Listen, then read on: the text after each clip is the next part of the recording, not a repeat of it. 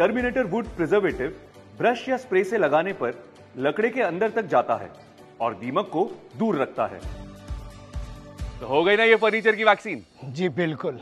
और इसके कई सारे फ़ायदे हैं जैसे कि ये इको फ्रेंडली है। इसका मतलब ये कि इससे पर्यावरण को कोई नुकसान नहीं और इसकी सबसे खास बात ये कि ये पूरी तरह से हर्बल है यानी इसके अंदर ऐसे कोई भी केमिकल नहीं जो आपके शरीर को हानि पहुंचाते। हैं ये सुनने में तो बहुत अच्छा लग रहा है। पर पॉलिशिंग के साथ इसकी क्या ज़रूरत है? पॉलिश तो वैसे ही लकड़े को पूरी तरह ढक देता है। बात तो बिल्कुल सही कह रहे हैं आप विमल जी। लेकिन दीमक को अंदर घुसने के लिए एक छोटी सी जगह काफ़ी होती है।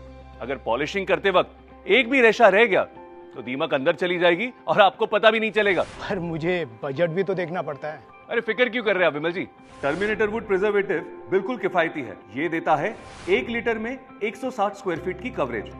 यानी टर्मिनेटर वुड प्रिजर्वेटिव का खर्चा होता है आपके ओवरऑल फर्नीचर के खर्चे का मात्र एक प्रतिशत। अब एक प्रतिशत खर्चा बचाने के लिए आप फर्नीचर और आपकी इज़्ज़त को क्यों खतरे में डाल रहे हैं? मेरी इज़्ज़त को कैसा खतरा? अगर आपके बनाए हुए फर्नीचर पर दीमक लग जाए तो कस्टमर आपसे नाखुश होगा। और कस्टमर नाखुश होगा तो आपका नाम आगे रेफर नहीं करेगा। अब इससे मार्केट में आपका नाम तो खराब हो गया ना। ये तो मैंने सोचा ही नहीं था। बिल्कुल सही कह रहे हैं आप। एक परसेंट के लिए इतना बड़ा रिस्क ना भाई ना।